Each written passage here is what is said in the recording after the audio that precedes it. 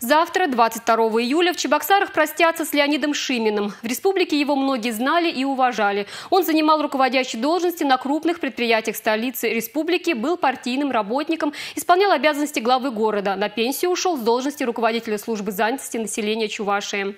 После выхода на заслуженный отдых Леонид Шимин продолжал заниматься активной общественной деятельностью, был председателем Общественной палаты Чувашии, возглавлял региональное отделение Союза пенсионеров. Леонид Шимин – кавалер множества государственных и ведомственных наград. Ему присвоено звание ветеран труда.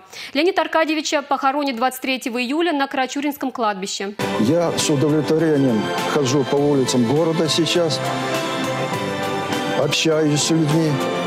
Никто не даст соврать, что город развивается, город хорошеет, город поднимается на новую высоту.